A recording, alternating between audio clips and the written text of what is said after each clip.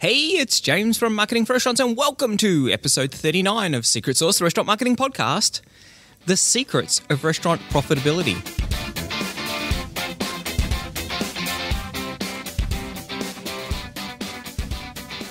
Some restaurants are quiet, lose money, and the owner works 70 hours a week.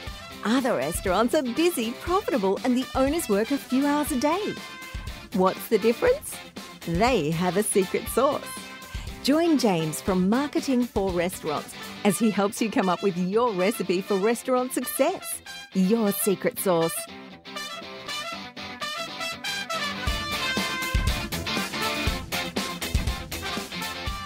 Welcome back, everyone. Today we've got a really, really interesting discussion. Ivan Brewer from Restaurantology. Now, Ivan has run a lot of successful restaurants in his time. He's also done some master's level studies in some of the more esoteric areas around the financial operations of a restaurant. And I think he's got some really, really key points to bring out. And I think you're going to get a lot of uh, a lot out of the discussion that we have with him. Before we talk about that, though, I want to talk about something that happened today that was kind of funny in the Marketing for Restaurants office. So we were talking about, we have a, a meeting every day where the, the whole team gets together and we, we discuss what each person's doing and the issues and opportunities that each person's got around, you know, building out the product and marketing things that we're doing.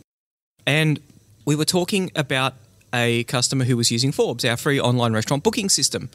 And we need to update our figures. It's done in excess of $17 million worth of bookings and it's growing, you know, 10% a month. Awesome product. Super excited about it. Now, one of the things that we talk about is, you know, we kind of review our onboarding process and we, we were discussing one of our new customers. And now I thought, you know, so website, online booking system. And I thought, oh, yep. And then I thought, well, hang on a sec. I haven't seen their name anywhere. And now that's not unusual because we've got lots and lots and lots of customers. But, uh, you know, I, I, just like to see how, how new restaurants are going. And so we've got a big monitor of information for the company. And I walked up and it was like, well, they're not there. And I thought, oh, that's a bit interesting. Now, that doesn't cover all of the people. Then I started going through the email reports that I get. I get email reports every day about, you know, how customers are going. And it's like, uh, I'm not seeing this. So, where are they? And so I'm starting to worry now. There's a customer who's come to us. They obviously want to get find more customers and get repeat customers, and I'm thinking they're not appearing in any of my data, so it doesn't look like we're doing a very good job for them. And then they, the team said, "Oh, you know, so this is the customer, and they're in Perth." And I've gone, "Okay, good." And I just Google their name, and I click on the first link. Uh, a little bit sad because it's a, it's one of those Menulog dodgy website. So Menulog have created a website very similar to their name to try and capture traffic from people who are looking to deal directly with the restaurant. Menulog sort of create these sort of fake websites in front of them and then run ads to them and all sorts of things to make it appear that that customers are dealing directly with the restaurant. And of course, Menulog being Menulog, they're probably charging them 13%. And the most insidious part is they're not giving them the customers details. You know, so the, the restaurant doesn't get the email address, which means they can't remarket to them. So it's quite nasty. And it's like, so where's their website? And then, you know, one of the marketers said, I'll send you the URL. And it's like, no, don't send me the damn URL. I want to find it in Google. Like, this is what we do. We help people be found online. Why is it that I cannot find them? And I'm going through the first page, and you know, and then I'm then on the second page. And you know the old joke about the second page: where would you hide a body? On the second page of Google because no one ever looks there. And I'm thinking, what is going on here? We spend all of this time and effort in providing our customers with websites that drive truckloads of traffic to their restaurant. What's going on? And then I said, so why can't they be found? And they said, oh yeah, the website's awful. It's like, well, why is their website awful? We don't build awful websites. And no, they're not a website customer. It's like, oh, oh, okay. They sent me through the URL. The website looks hideous. There's absolutely no SEO that's been done in there. Turns out it's been made by Quandoo. Now, the thing that's super hilarious is that the reservations page has actually got our reservation system on it. Now, the big, and I don't know these guys at all. Thai Restaurant Perth, that's all I know about them. I don't know if they're any good or not. I don't know how many customers they do every week. We've got very little insight into that. What we do know, though, is that their website is getting zero traffic for them. And I think this has got to be killing them. Compare and contrast. So we've got a restaurant in Sydney, an Indian restaurant. The online reviews are pretty good for them. Now they're taking around two thousand dollars a week in online orders. That's so that's going to equate out to about hundred thousand dollars a year.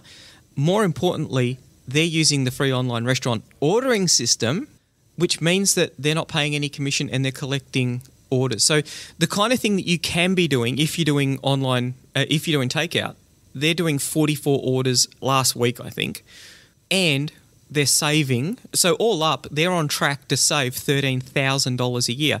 Now, best practice, we recommend you dump five and a half, uh, six and a half of that. So fifty percent of your savings should go into a marketing campaign. That's over hundred dollars a week. You may not even need to spend that much. Have a listen to the podcast on uh, what should your budget be. They may not need, even need to spend that much. Really interesting because people are finding them. They get quite a bit of traffic to their website. The website looks quite new and up to date. It's got some great pictures in it. They're one of our website customers as well. So getting thousands of visits every month, that's equating to $100,000 worth of revenue which you know I think is really powerful. And you put them side to side with someone who's using Menulog, they're going to be thirteen thousand dollars better off, which is probably going to be a supported marketing campaign. So effectively something that's being paid for out of the saved commission. And I would have thought, you know, that restaurant owner's probably going to end up pocketing an extra eight grand, which, you know, from my point of view, that's super exciting. And their, their orders keep going up because they haven't started running that marketing campaign. We're in discussions with them at the moment on, on how they can run their own marketing campaign. I think that that's the future. So, yes, it was funny because I thought that they were one of our website customers. It really does highlight the fact that if you've got a website that's not working for you, so these guys they have they have got our reservation system and they haven't taken a reservation in three weeks. Seriously, people, that's got to be ringing some bells. Very, very scary. Remember, your website should be doing your sales and marketing for you. The Indian restaurant in Sydney, every day they're getting money coming in from their website. The Thai restaurant in Perth, every day they're losing out because people are looking for Thai food in Perth and they're going to their competitors. That's really sad. So, on to today. So, Ivan Brewer, a really smart guy, and he talks about some things that I have not heard anyone else talk about. Really, quite a strong understanding of the way that you can create that recipe for restaurant profitability. So let's get into it and have a listen to what Ivan's got to say about how you can increase the profitability in your restaurant. Hey, Ivan, welcome to the podcast. Hi, James. Fantastic to talk to you today. Yes. So, do you want to give everyone just a little bit of an idea about what it is that you do and your background? Yeah, absolutely. So, I'm, what I'm all about is restaurants. It's, it's, my life. I guess, like a lot of people in the hospitality industry, I sort of stumbled and fell into it. And when I sort of picked myself up again, just realised it's something that I love. I've been very, very lucky.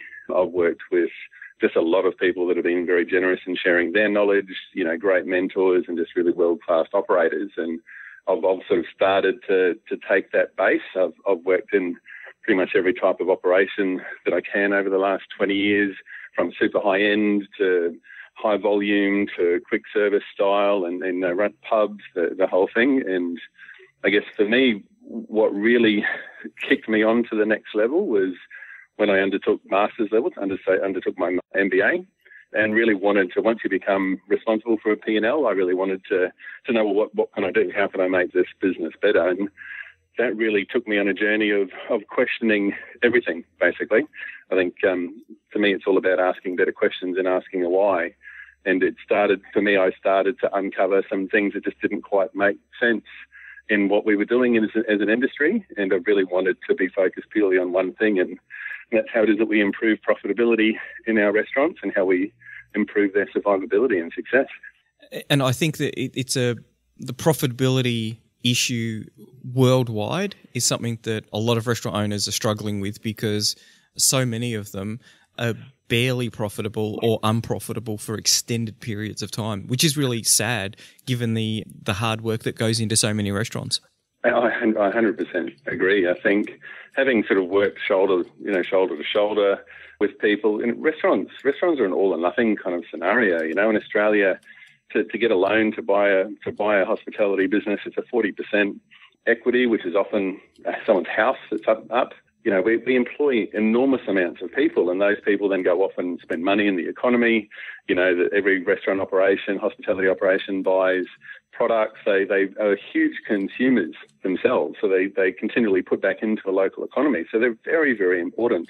They really are, and with our modern way of, you know, we're all busy. You know, we love to go out and get a coffee. We like to go out and take our kids to get something to eat it's um, it's a huge part. It's a very fabric of, of our society and how it is that we choose to live nowadays.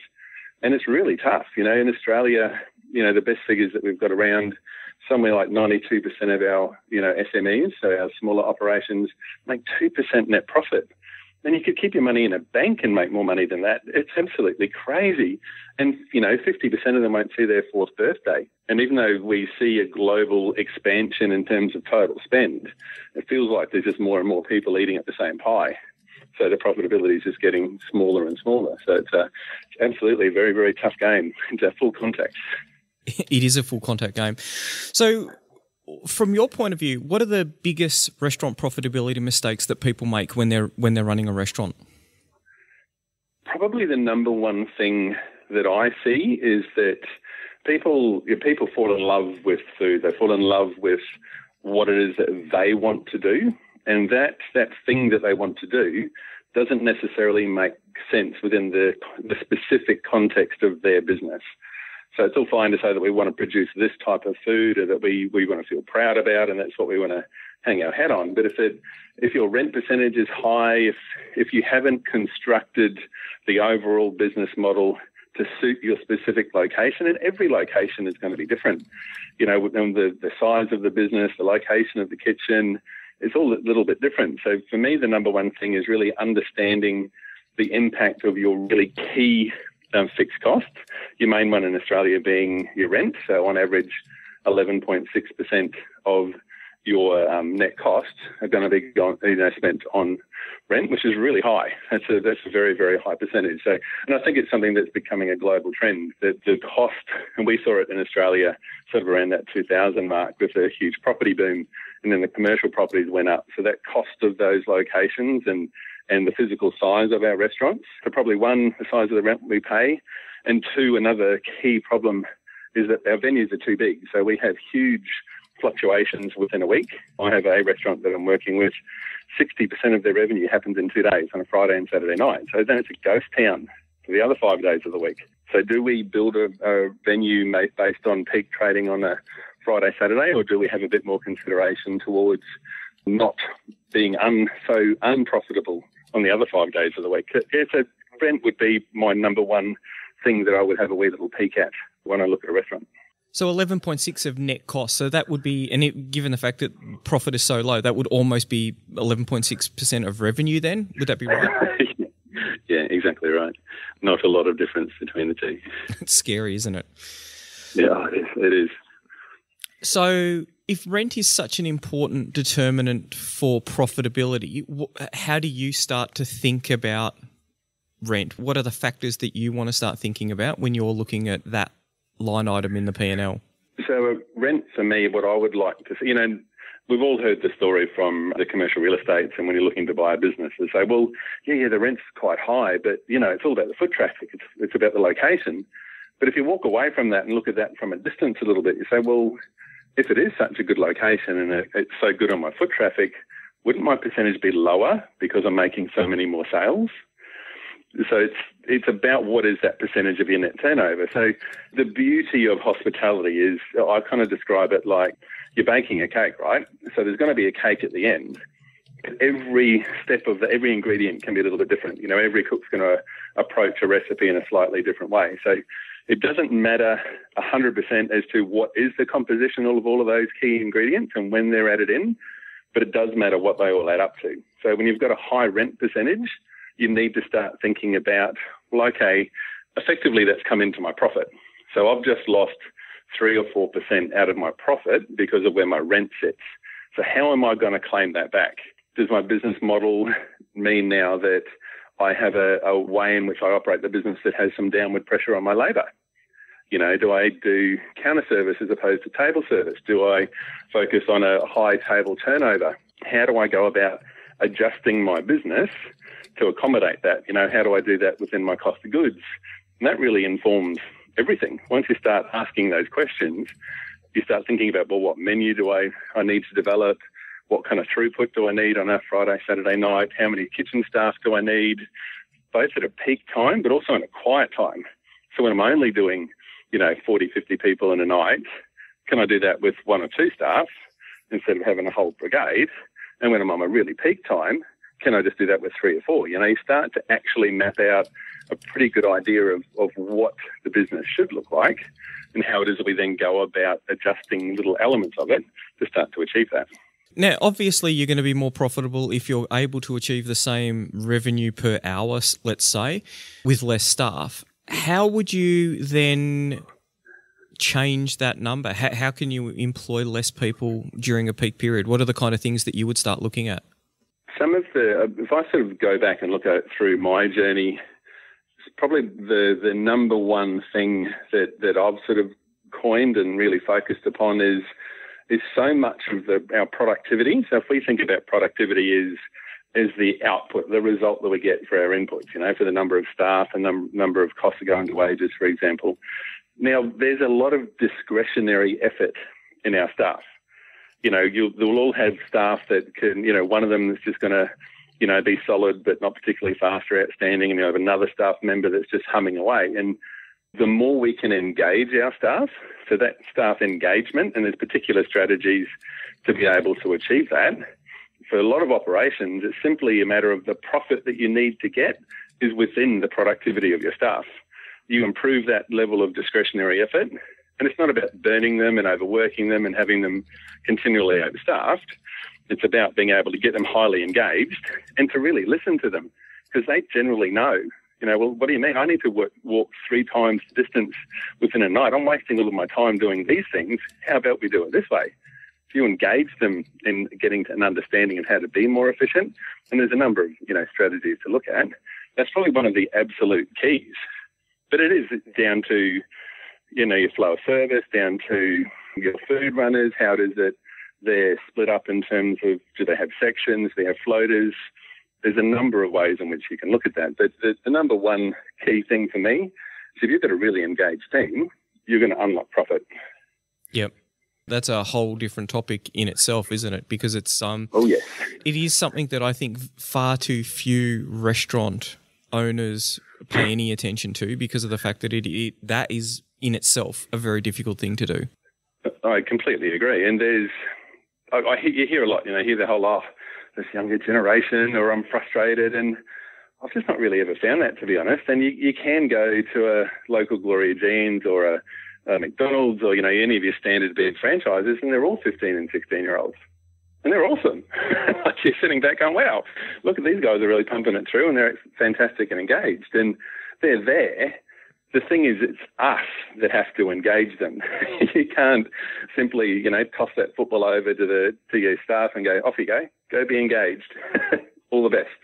And there are particular things, you know, in de- designing an experience. And I've had a, a lot of success around making a venue say 100% Australian only wines, for example, or those sorts of things. Get them excited on the journey and get them excited about the products that they're selling, the stories that they're selling, because we, we sell stories. We don't sell products in hospitality. We sell stories. Get them excited about that, then they're just going to get away. But as, as you said, that is a whole beast of its own. exactly.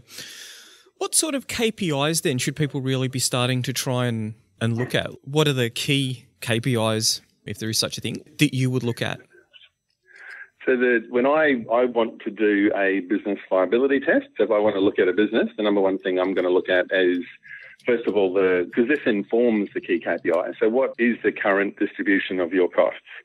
So what are your percentage of fixed costs versus your variable costs? And this is one of the key, key, key areas. I've seen really, you know, highly experienced large organizations that are making one of these fundamental mistakes. So if we look at fixed costs as something that isn't dependent on your revenue. So it's going to more or less be the same. You know, pretty much your accounting costs, pretty much, you know, your rent, those sorts of things are going to be consistent. Your variable costs can be things like your gas and your power, the things that will fluctuate relating to buying your napkins, you know, relating to your revenue. And that's really important because we need to then understand what are your cost of goods consistent with your model and what is your, your labour target. Cost of goods should be pretty consistent. It's a concept that'll bounce around day by day based on the actual sales mix on any given day.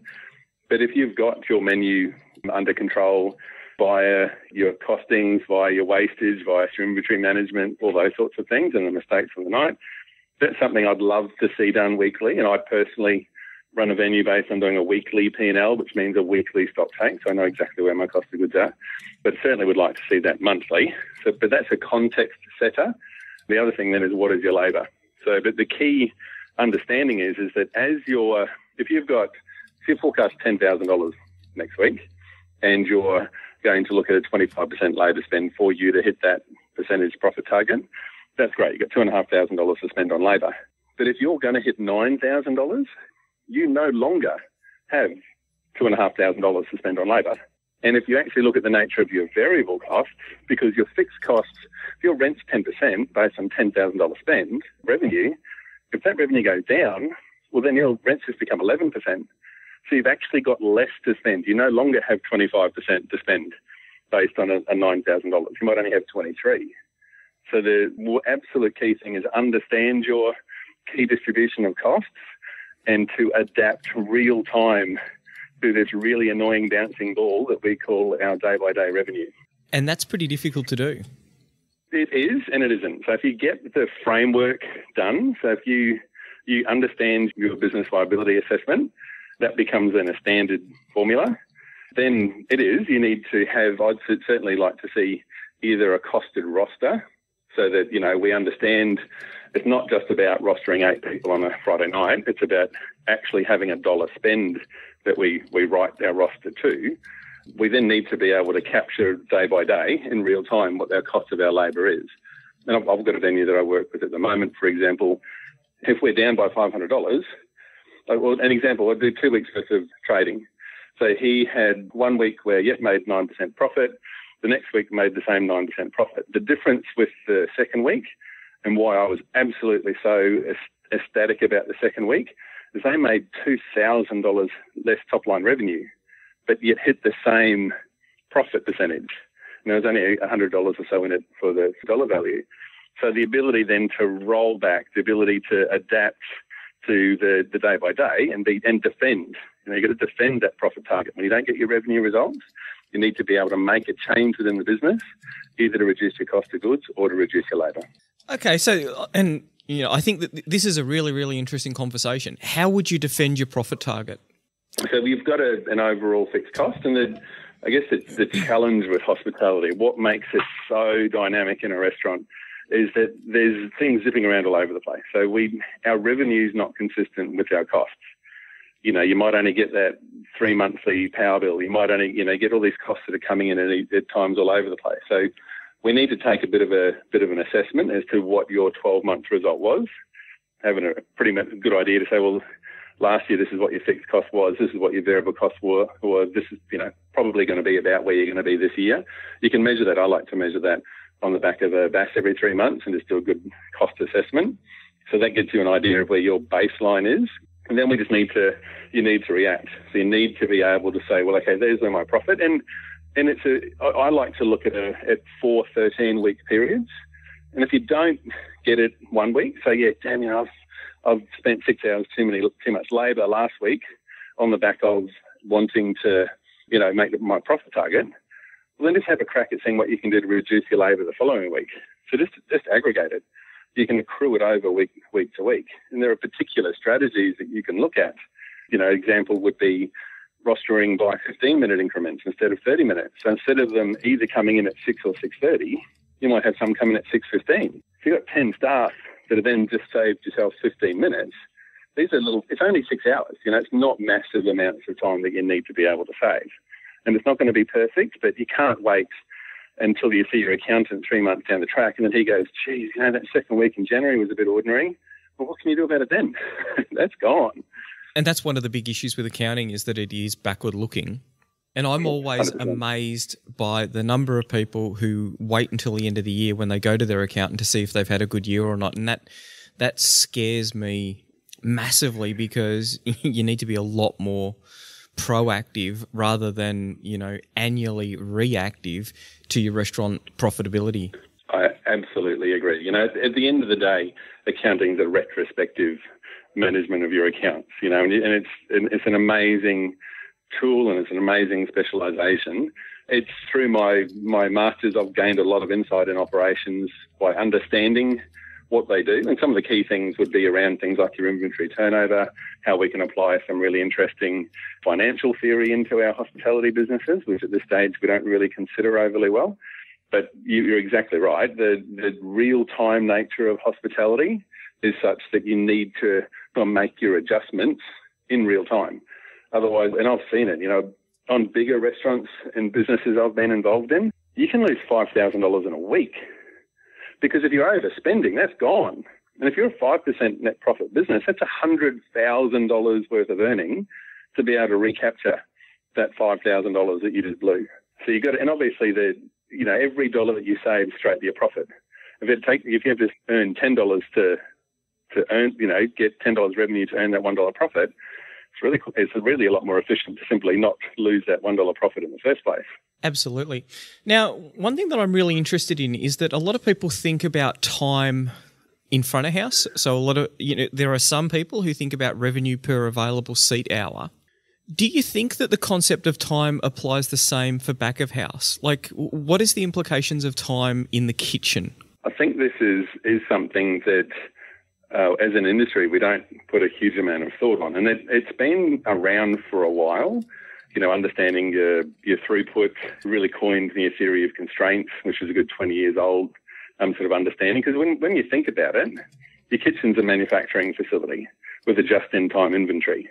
So pretty much going to be making the same things. You know, people are going to, same as if they're going to go and order a car, you know, they're going to make the same things. You know what they're going to largely have. You just have no idea at what stage and what combination of items. So yes. it's, it's a manufacturing process. And a, a menu design is absolutely crucial to facilitate that. So, an example, I, I worked in a, in a large place that was very heavy on chicken. We go through per site probably around a ton of chicken a week, um, including your chicken wings. So, chicken wings are going to take nine minutes in a fryer for you to for you to cook them so you don't kill people. Now, we all know that in a busy Friday, Saturday night, you more or less have your two sittings. So you got your 6.30 diners that come in, 6.37, 7 o'clock diners. They're getting their entrees. But when they're getting their mains, that's when you're kind of getting the next wave of people through and they're back in their entrees. So you want to make sure that you're not clogging up your kitchen. You know, if you've then got entrees that are taking nine minutes in a fryer, how are you getting on for your entrees in your second sitting? Your mains are going to get held up. So how to, you know, really understand how we can construct the the menu, how we can you can use pricing. So pricing as a tool to improve the rate of sales. You know, in basic theory, you're going to, if it's a little bit cheaper, you're going to sell more. So something that, that might have a lower cost of goods, you get a lower profit, but only takes two minutes versus something that if it takes you 15 minutes to do, well, you, you're only going to do four of those an hour. I'll and find... we, we all know you've got a peak time. You know, peak time on Friday, Saturday, you've got like three hours to pretty much make your weekly revenue. I find this really fascinating because when you look at menu engineering, this is often the component that is left that is dealt with retrospectively when after a month of trying the new menu, people go, we can't make this work because it's taking too long to get stuff out of the kitchen, rather than actually thinking, how long does this take to prep? How long does it take to actually cook? And how many of those could we do in an hour? as you say, you really need to be thinking about the your peak times because that's when you're going to be making most of your revenue. Exactly right, and it's a really good concept. You know, the front of house is out there selling stories to be able to sell product. When in it, from an output perspective, so either on your coffee machine in your bar or in your kitchen, you're effectively selling time. So something takes five minutes to do, you're doing five of those an hour, unless you're going to have to add some more labour to it or some more infrastructure to it that allows you to increase that output. Now, even just tweaking that, so being much more operationally efficient, if that then becomes You know, so if you're taking five minutes, it takes you 12, then all of a sudden you take it to three minutes, which is not a big saving. That's, that's a big difference. Then all of a sudden you've got 20 that are coming out without any additional labour. So even though we, we view cost of goods to me as a philosophy, it's an indication, but it's not a hard and fast rule. We really need to understand what we get when we have a look at cost of goods. And I kind of describe it to people saying, well, okay, so we're, we're obsessed with the percentage. That's the, the sort of industry. You've got this percentage to hit on your cost of goods. So as a consumer for yourself, James, would you rather spend $50,000 and then sell something for 100 or would you rather spend $2,500 and sell something for 10 Because as an industry, oh no, you don't want 50% cost of goods. We like the 25% cost of goods, but, but, but we've made $50,000 versus seven, you know, $7.50.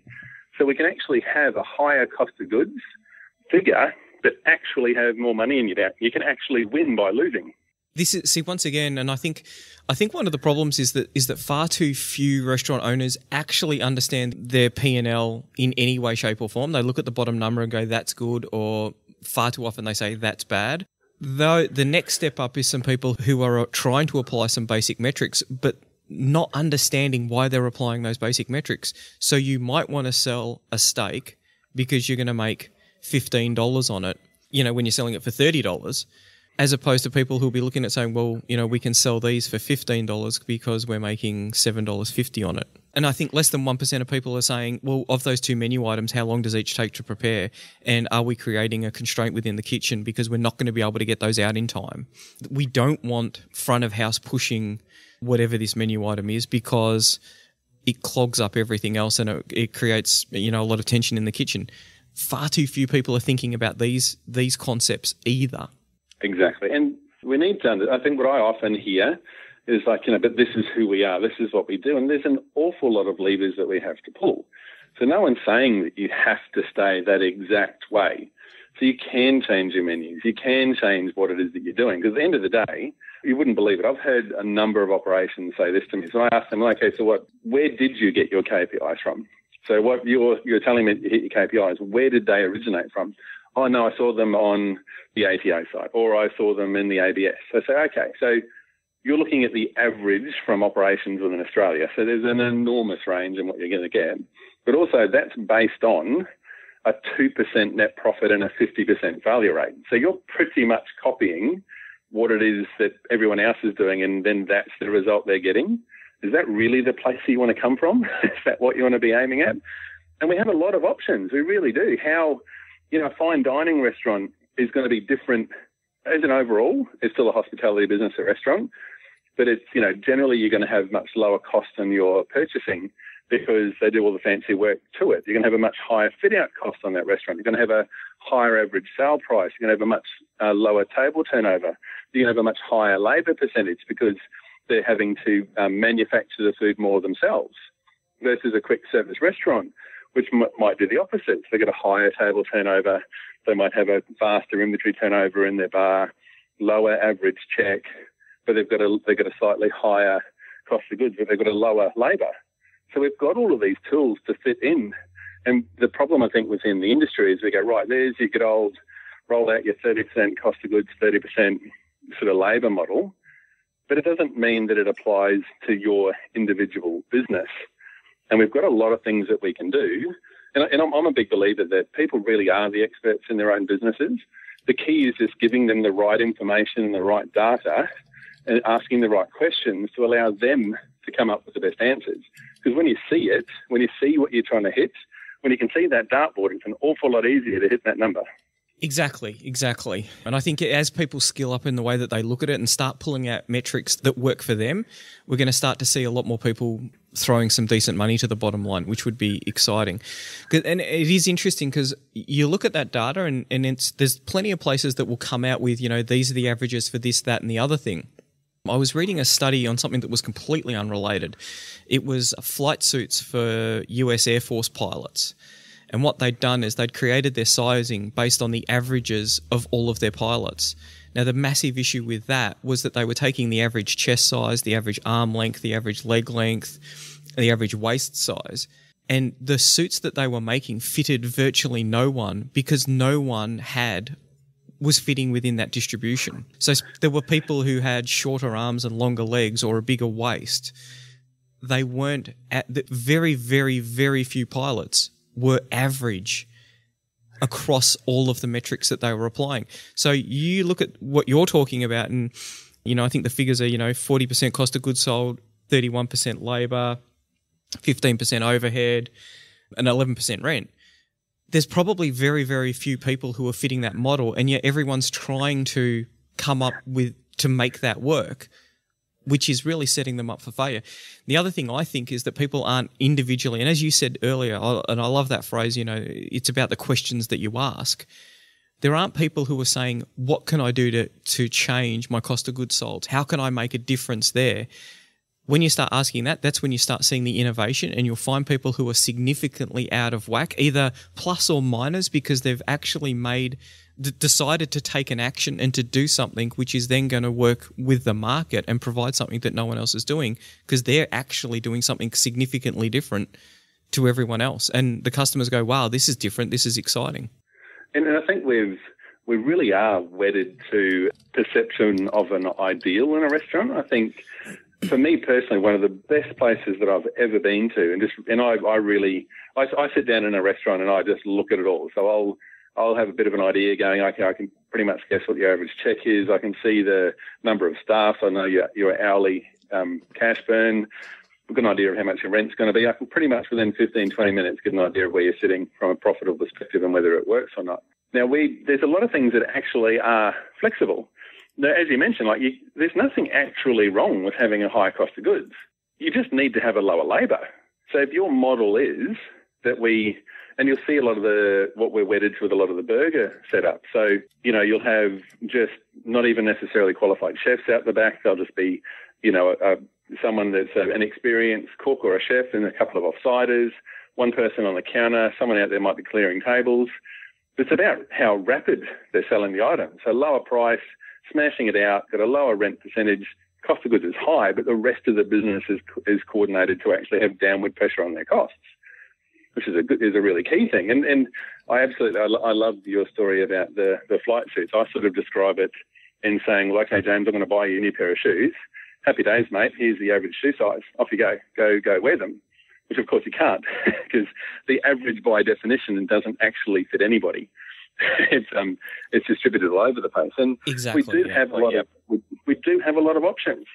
You know, we can. Uh, I think ideally you want to look at you know, if you can set up your infrastructure, so when you're starting the business, because you can capital capitalize those decisions, as, and if you have a, if you spend money up front that's paid for by your bank loan, that then has downward pressure on your labour every single day, to me that's a massive win. You're going to win in a lot bigger way on the labour you're going to save week by week than you are on the slight amount more money you're going to pay on, on paying back that equity. I've, I've seen an example would be just off the top of my head would be um, I don't know if you've seen some of those pour my beer beer taps where the customer themselves go out and pour their beers. You know, they put some money in a card and they go pour their own beers. Well, so you can have a lower price point because they are actually doing it themselves. But you're not having to have the labour either. So you've kind of pushed the labour. You're paying the customer effectively by having a slightly lower sales price. Now that's a strategic decision to make. And going back to, you know, one of my key favourite restaurants was here on the Sunshine Coast. It was terrible infrastructure. It's your plastic, you know, tables and chairs that you'd get, you know, that you'd see, you know, on an old resort that had been out in the sun too long. They were mixed match plastic cups. They were wet cutlery because they're being turned over so fast. But the food was phenomenal and it was cheap. And you got an hour and a half wait. So people are understanding, well, actually, I, I am happy to give up on that experience because I'm getting an amazing product at an amazing price. We don't have to have everything perfect because as consumers, we're happy to say, I'm, I'm willing to take the hit on the infrastructure and that part of the experience because the other part of the experience is absolutely phenomenal. And I, I think that that's the really important thing. And you see it all of the time. You'll see, you know, and I think it, it's not great to have crappy food, but at, at a, um, that's good value. It's very interesting though when you see really, really, really good food in a dodgy environment because often the dodgy environment is part of the experience.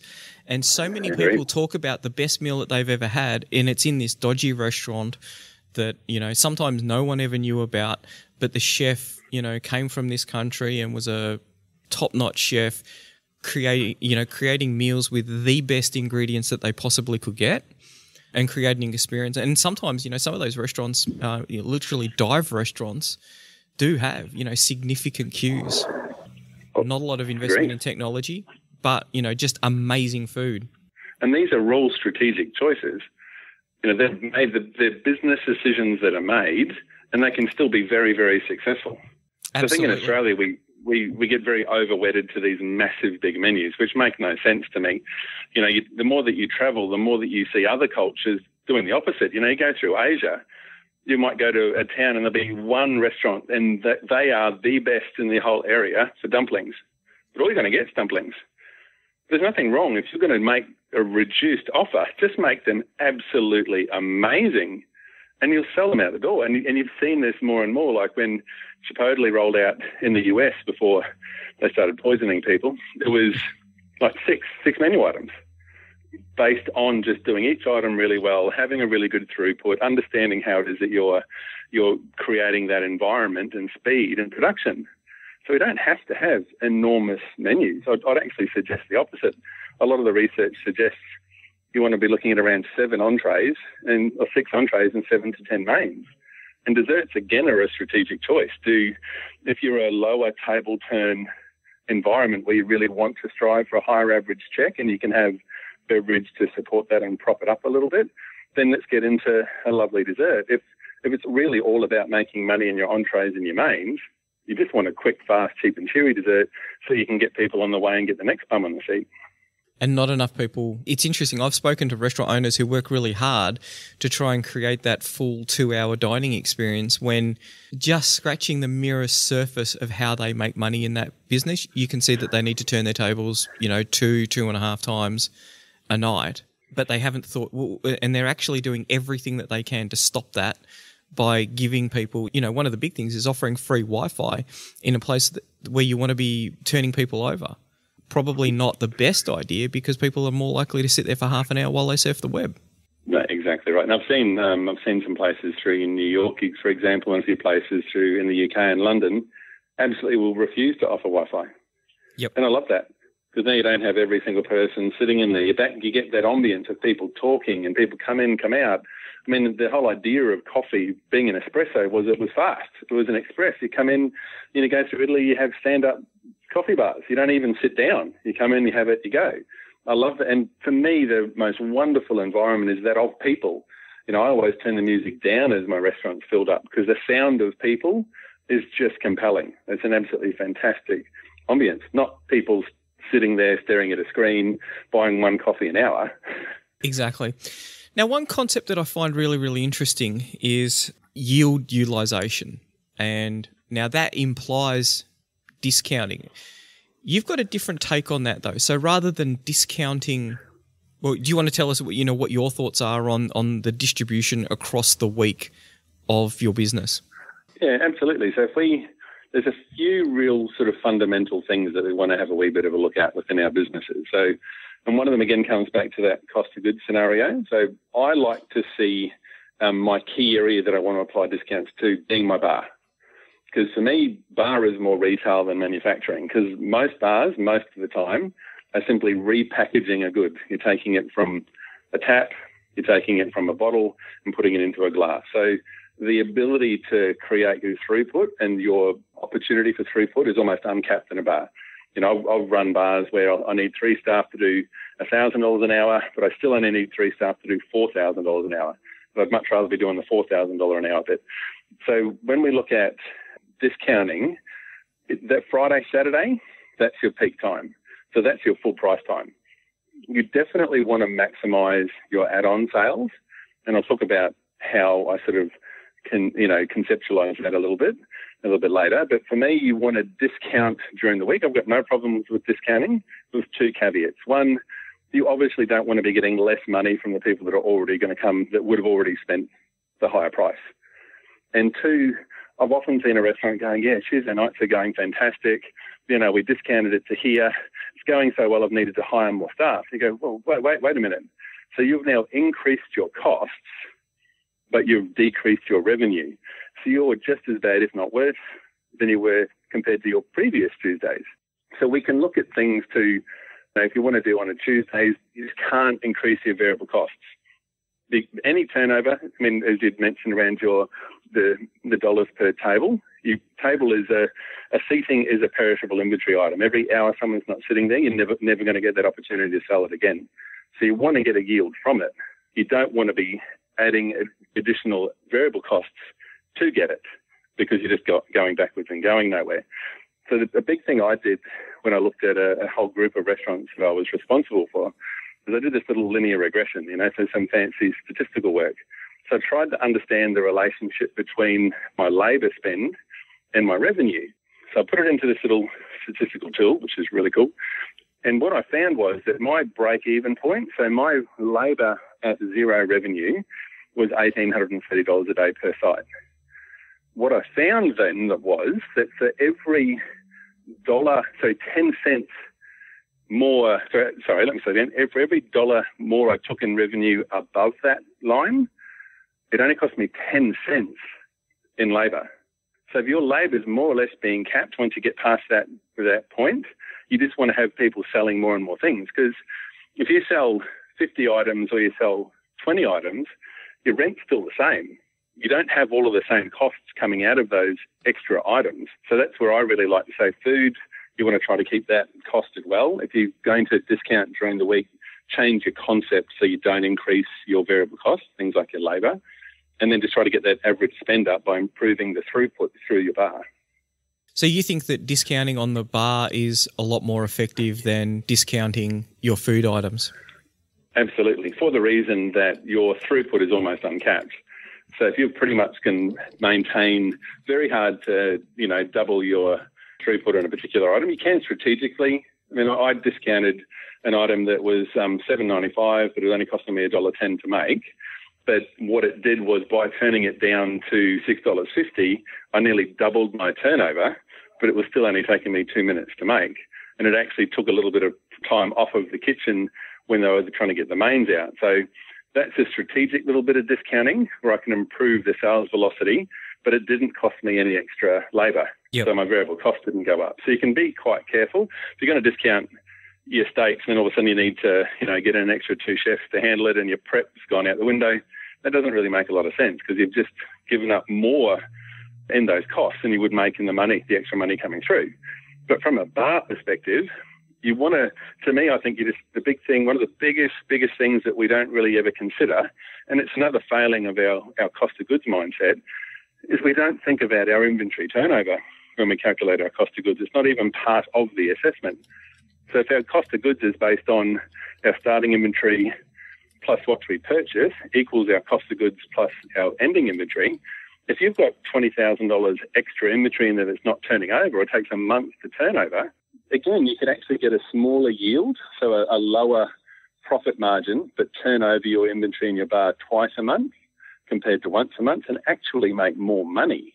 And that's the goal, right? For most of it, most of us probably yes, like it should be. For far too many people, it's an unattainable goal. I think in their in their mindset. Far too many people I speak to just say it's a really really tough game, and you know we're doing as as good as we can, and it's like if I was doing as good as you were doing, I would stop playing this game because it sounds like crazy. or, you know, or if I was committed to playing the game, I'd do something different. And a lot of the time, people, I think, they just feel like they can't get out. They're wedded particularly one way.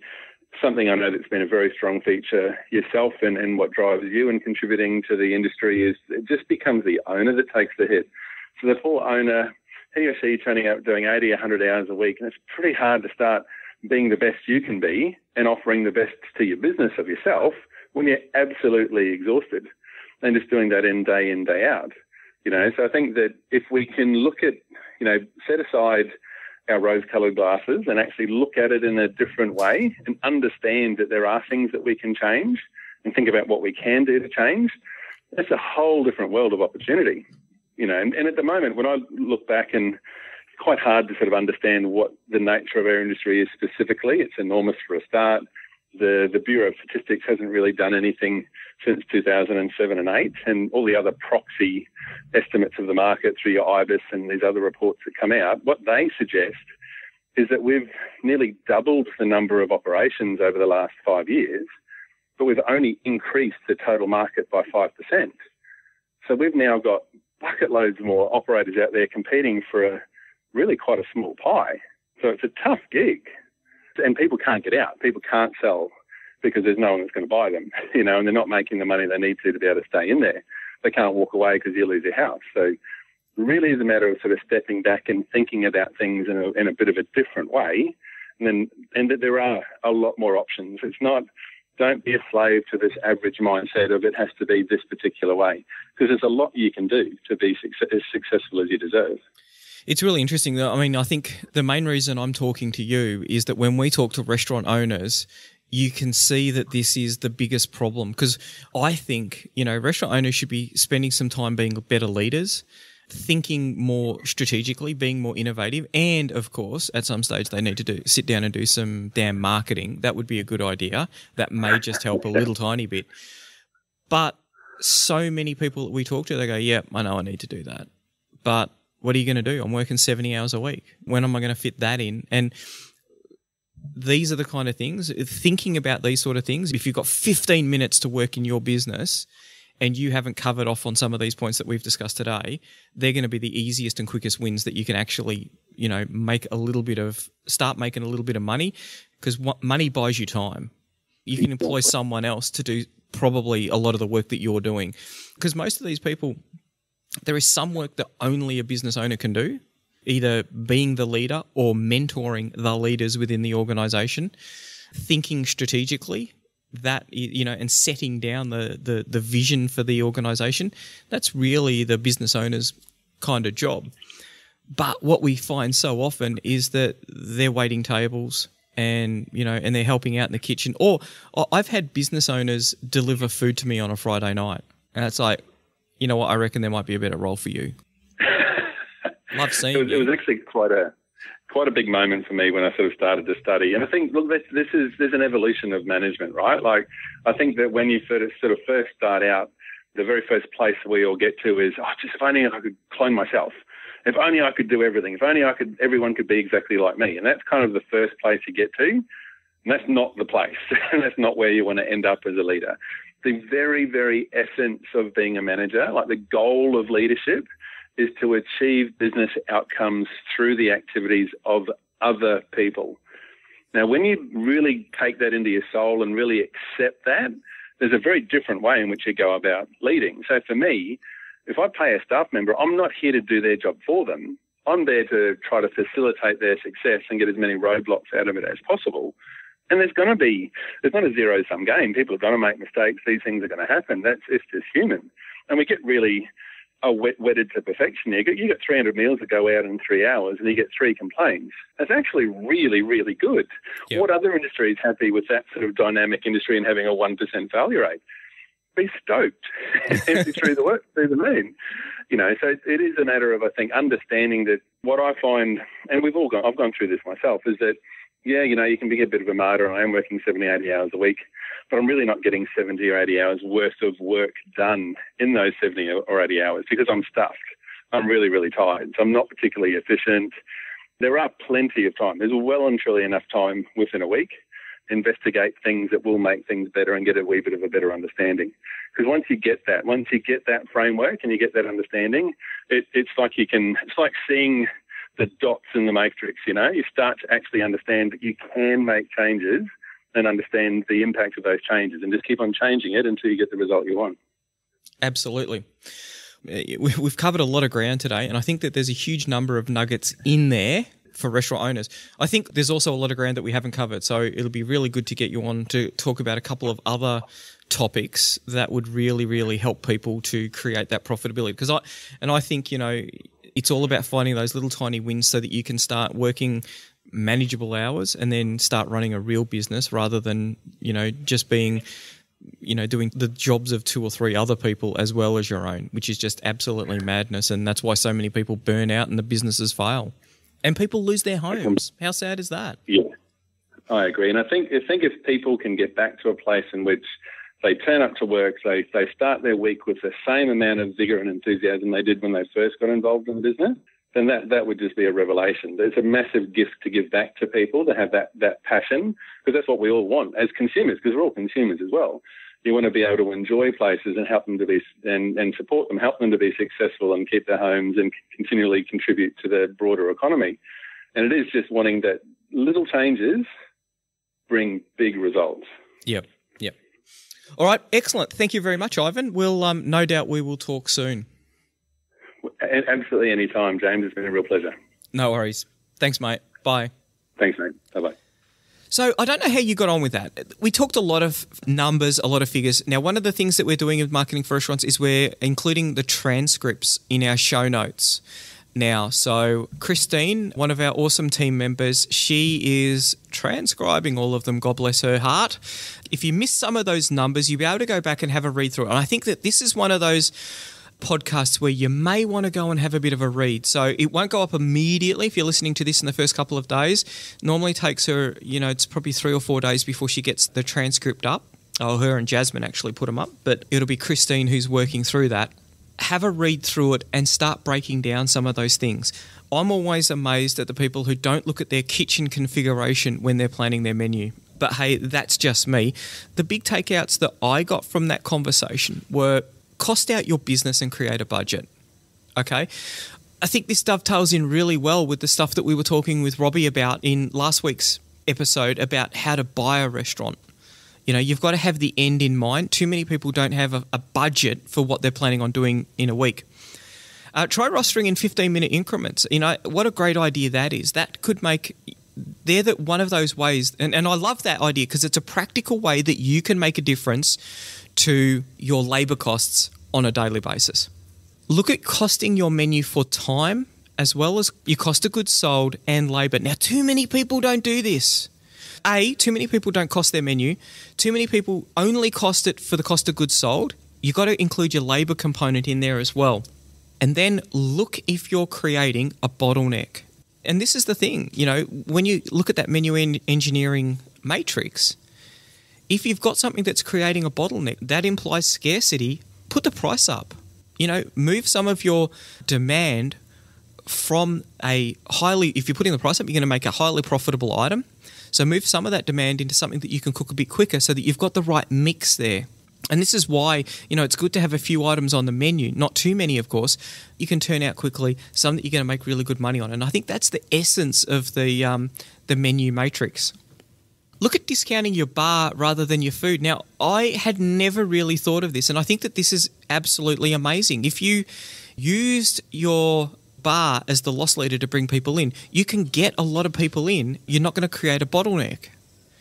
Whereas if you're using food, then you are. Hmm, really interesting.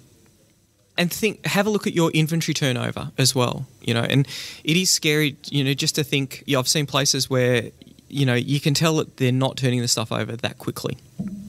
So there you go. Once again, hit us up on Facebook, send us an email. Love to hear from all of the restaurants all around the world who are listening to the podcast and who are becoming our customers. Hopefully, by the time this one goes live, we'll be in nine countries. We've got our first customer in Dubai going live very shortly. That is super exciting. Uh, really excited to, as we increase the number of countries that we have got restaurants in that we're helping, and of course, 108 countries or whatever it is now, whatever we're up to, who are listening to Secret Sauce. And uh, don't forget the five minute a day restaurant marketing MBA. So we have sent out just under a quarter of a million emails, and we've got an open rate of around 25%, which is amazing when you're considering that you're sending out a quarter of a million emails. I know that those emails are going to people all around the world just with a little tip, trick, strategy, tactic, idea, or just a little bit of inspiration to help you find more customers and turn them into repeat customers.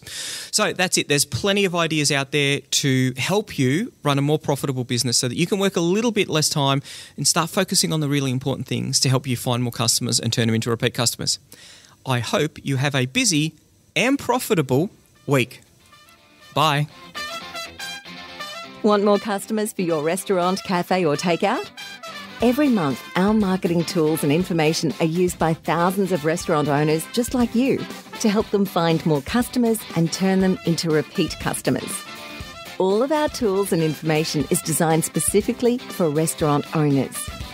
We know you don't have a lot of time to spend marketing or learning complicated procedures, so our tools are quick, and easy to use. If you're looking to increase your revenue and profits or want to work less hours, check out marketingforrestaurants.com.